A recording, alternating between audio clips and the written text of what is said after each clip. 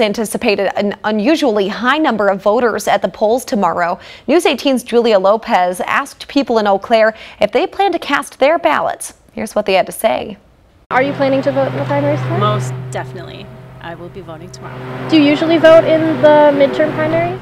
I vote in every opportunity I, I can. When I can. I'm planning on voting. I want to choose who's going to run. No, but only because the, the process of voting is annoying and overly complicated. I never have like a constant address and an ID, so I, I always just get turned away from the ballot box. Yes, I am voting in the primary, and I normally do not vote in them. Do you usually vote in the August primaries?